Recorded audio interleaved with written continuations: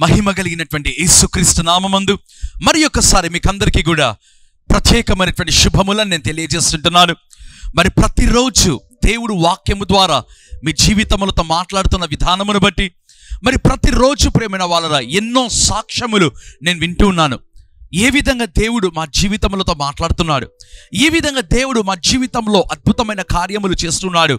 అనే సాక్ష్యములు విన్నప్పుడు నిజంగా ప్రభు ఎందు ఎంతగానో సంతోషిస్తుంటున్నానండి.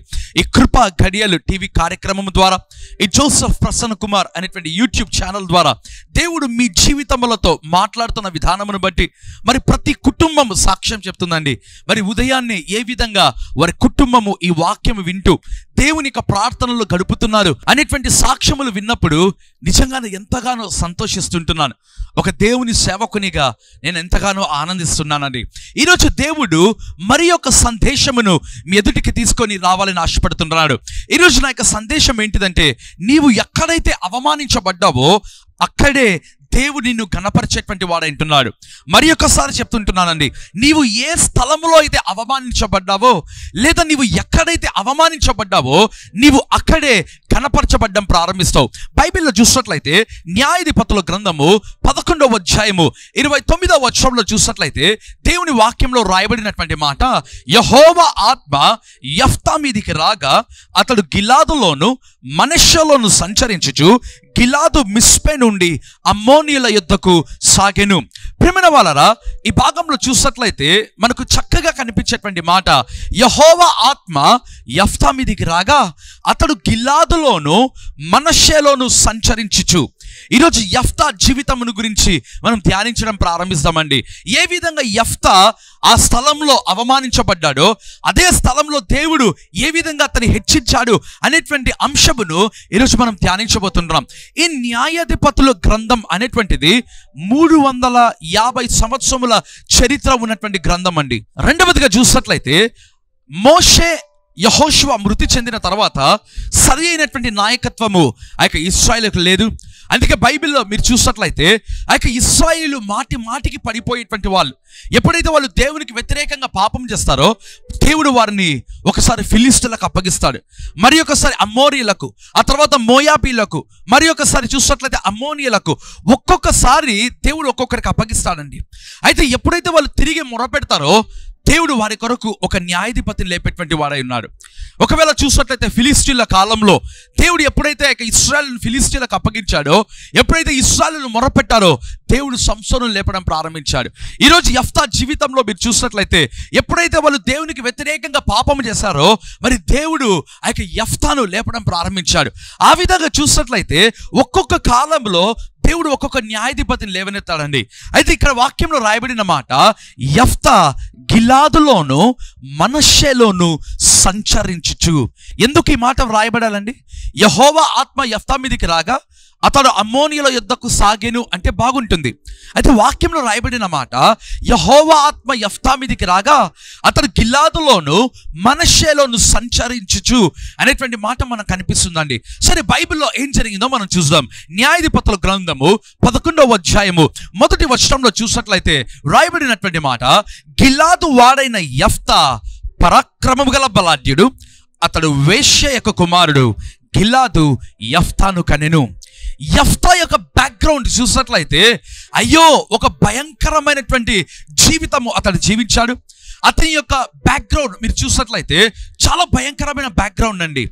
యఫ్తా జీవితంలో మనకు కనిపించేటువంటి ఒకే ఒక మంచి విషయం ఏదైనా ఉందంటే గిలాదు వాడైన యఫ్తా పరాక్రమము గల బలాఢ్యుడు. హలలుయ యఫ్తా జీవితంలో ఏదైనా మంచిది ఉందా అంటే ఒకటే ఒకటి మనకు మంచిది కనిపిస్తుందండి. ఏంటంట అతడు పరాక్రమము గల బలాఢ్యుడు అని దేవుని యొక్క వాక్యంలో రాయబడింది.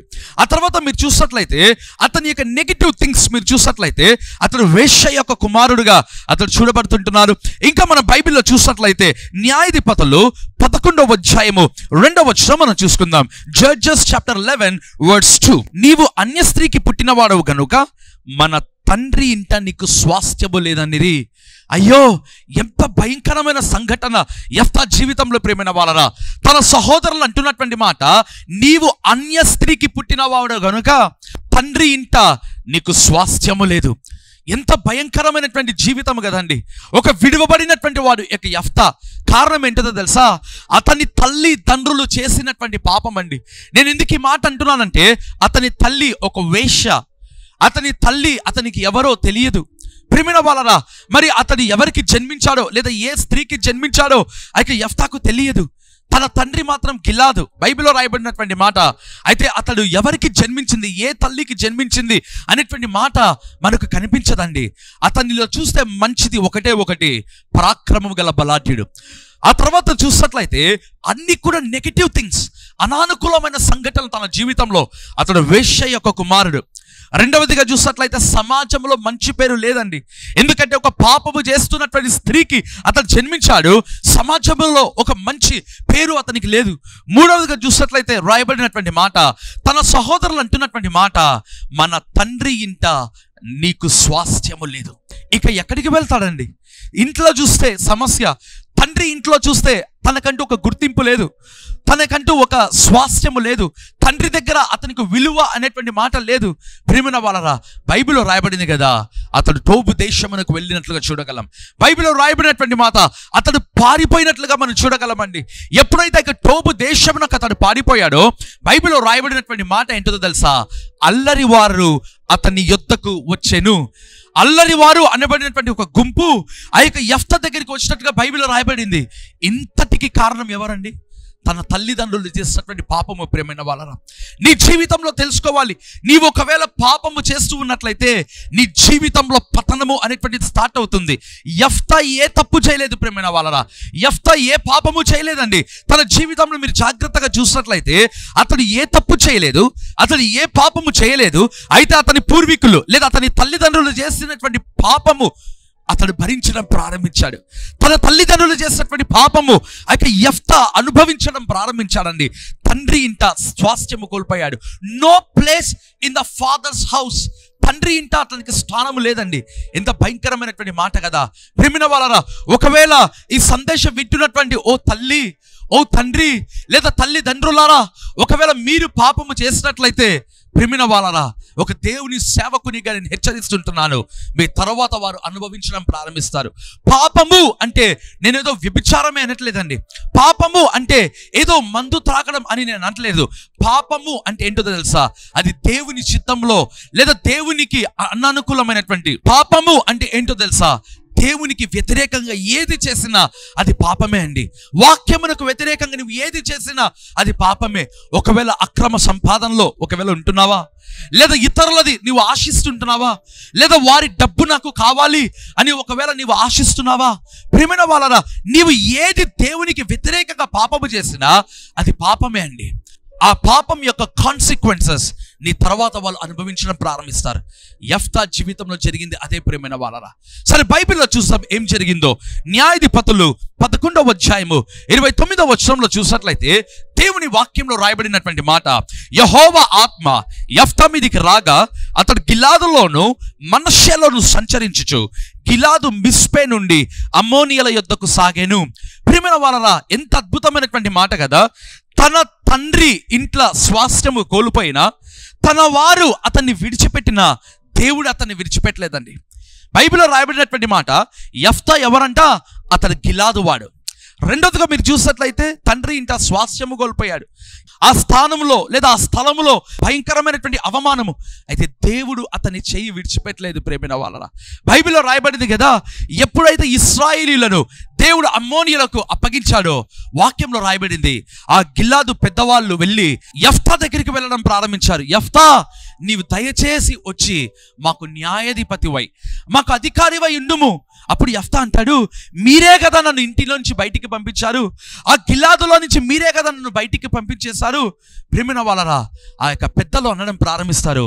నీవు వారి నుంచి మమ్మల్ని విడిపించినట్లయితే నీవు మాకు అధిపతివై అధికారివై ఉంటావు. ఇంగ్లీష్ బైబిల్లో రాయబడి ఉంటుంది. ఏమని ఉంటుందో తెలుసా?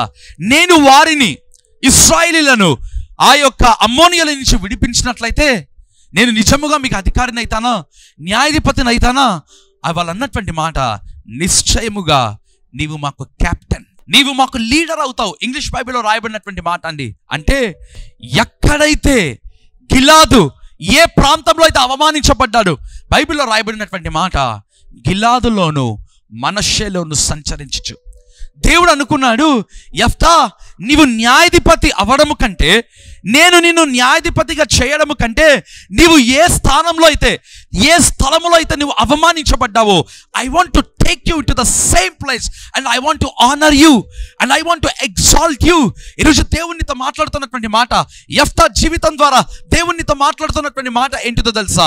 నీవు ఏ స్థలములో అయితే అవమానించబడ్డావో నీవు ఏ స్థితిగతులలో అయితే అవమానించబడ్డావో the Lord is speaking to you directly దేవునితో నేరుగా మాట్లాడుతున్నాడు ప్రేమైన వాళ్ళరా. దేవుడు నిన్ను కనపరిచేటువంటి దేవుడై ఉన్నాడు. బైబిల్ రాయబడింది కదా అతడు గిల్లాదులోను మనషేలను సంచరించచ్చు ఏ గిలాదు నుంచి అతడు పారిపోయాడో ఏ గిలాదు నుంచి లేదా ఏ తండ్రి ఇంట నుంచి అతడు స్వాస్థ్యము కోల్పోయి అతడు పారిపోయాడో దేవుడు తిరిగి అదే గిలాదులోనికి తీసుకొచ్చాడు అక్కడే అతన్ని కనపరిచి న్యాయాధిపతి చేయడం ప్రారంభించాడండి. ఒకవేళ నువ్వు పనిచేసే చోట అవమానించబడి ఉండొచ్చు లేదా నీ కుటుంబంలో లేదా నీ యొక్క తోటి వారి మధ్య లేదా నీ ఇరుగు పొరుగు వారి మధ్య నువ్వు అవమానించబడి ఉండవచ్చు.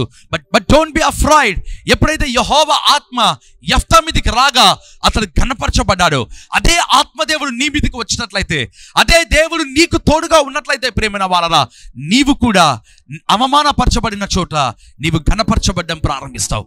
ఈ సందేశము ద్వారా దేవుడు మీతో మాట్లాడును గాక. ఈ రోజంతా కూడా దేవుడు మరి మీ జీవితంలో సహాయము చేయును గాక. ఈ రోజంతా దేవుడు మీ జీవితంలో ఎక్కడైతే నువ్వు అవమానించబడ్డావో ఈ రోజే దేవుడు మీ జీవితంలో మిమ్ములను కనపరచును గాక.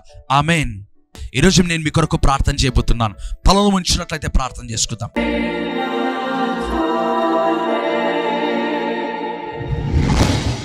కలిగిన దేవా దయగలిగిన మా ప్రభువా నీకు స్తోత్రము నాయన.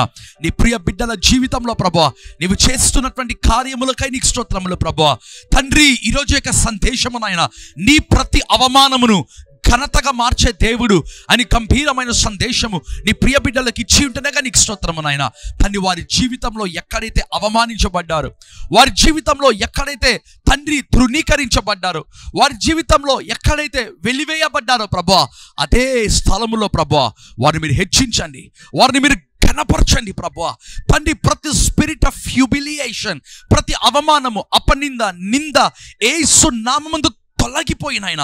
వారి జీవితంలో ఘనత వచ్చును గాక తండ్రి వారు పనిచేస్తున్న చోట వారి కుటుంబీకుల మధ్య వారి తోటి వారి మధ్య వారి ఇరుగు పొరుగు వారి మధ్య వారి స్నేహితుల మధ్య తండ్రి ఎవరైతే అవమానించబడ్డారో ప్రభా వారు ఘనపరచబడుతురుగాక వారు ఘనపరచబడుతురుగాక తండ్రి నీకు కృతజ్ఞతలు తెలియజేసుకుంటూ ఈ రోజంతా కూడా ప్రభా వారి జీవితంలో సంతోషం సమాధానం నెమ్మది నీ కృప సమృద్ధి వారి జీవితంలో మీరు అనుగ్రహించండి ప్రభా. నీకే కృతజ్ఞతలు తెలియజేసుకుంటూ ఏసుక్రీస్తు నామందు ప్రార్థించి వేడుకుంటున్నాను తండ్రి. ఆమెన్. ప్రేమైన వాళ్ళరా ప్రతిరోజు ఈ విధంగా జోసఫ్ ప్రసన్న కుమార్ అనే యూట్యూబ్ ఛానల్లో మీ కొరకు ఉదయం ఆరు గంటలకు ఒక షార్ట్ మెసేజ్ ప్రేయర్ అప్లోడ్ చేయబడుతుంది. అనేక మంది సాక్ష్యములు చెప్తున్నారు. ప్రేమైన వాళ్ళ తప్పకుండా ఈ ఛానల్ని సబ్స్క్రైబ్ చేయండి. నోటిఫికేషన్ బెల్ మీరు క్లిక్ చేయండి. ఆ తర్వాత తప్పకుండా ఈ యొక్క లింక్ మీ స్నేహితులకు మీ వాట్సాప్ గ్రూప్స్లో మీరు షేర్ చేయవలసిందిగా నేను కోరుతుంటున్నాను. God bless you all. A man